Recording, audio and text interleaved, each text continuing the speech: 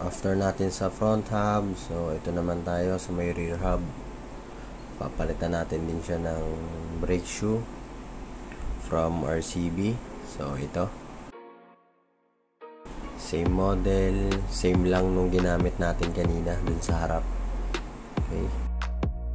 And syempre kailangan natin tanggalin yung nut magkabilaan. Ito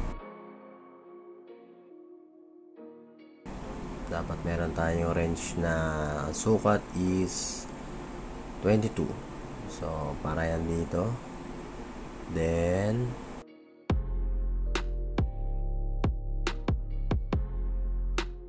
yan 17 para naman dun sa kabila.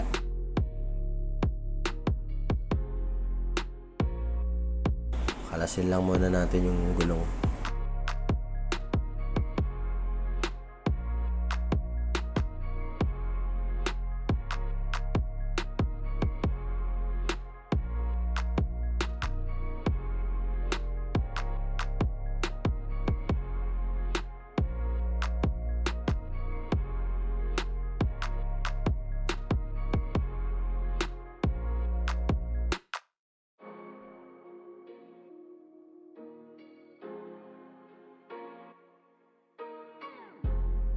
makalas na natin.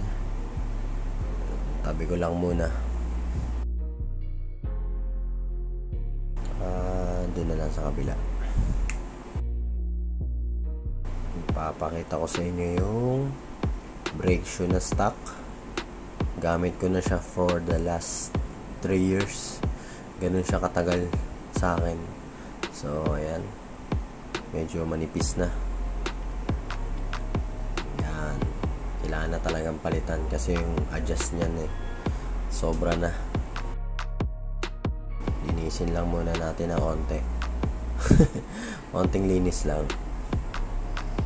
So ito okay na siguro yung gantong linis. Konting punas lang. Kabit na natin yung ating RCB brake shoe.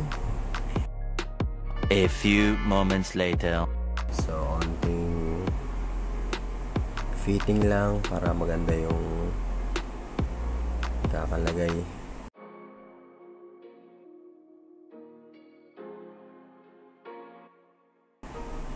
Okay. Konting punas.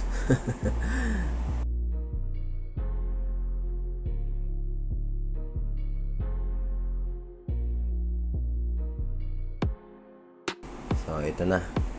Ibabalik na natin yung rear wheel.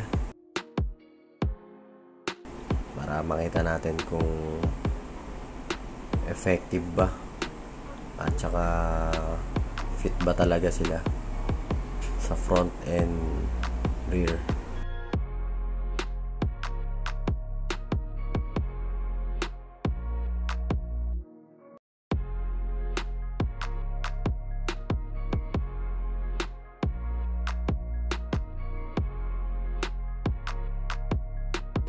Okay, so yan na. Nakabit na natin. Medyo onting higpit na lang. Tsaka kung mapapansin nyo, umulan na. Basa na yung gulong. Nabuta na tayo ng ulan. Pero okay lang yan. Malagay matapos tayo.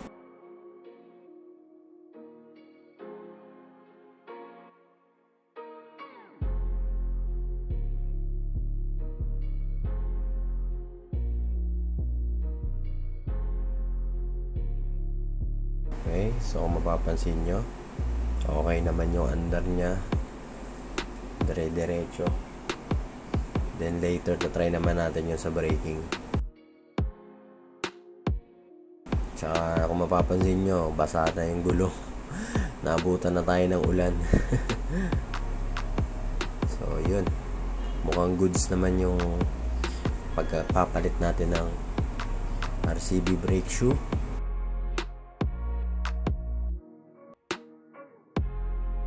So, yan yung adjustment.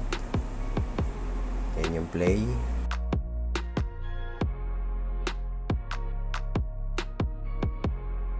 Okay, good. So, try natin yung sa may rear brake. Okay, kumakagat. So, yun. Fit siya. Okay na ba? Till next time again. Bye.